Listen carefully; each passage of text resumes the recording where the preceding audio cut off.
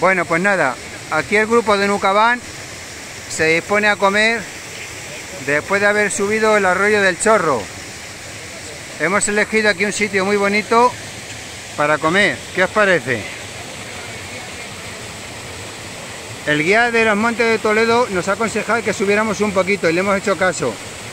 Porque aquí el mister Antotemo ya estaba, pues decir, aquí nos quedamos.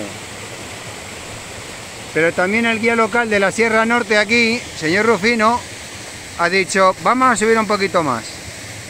No se me ocurre a eso. bueno.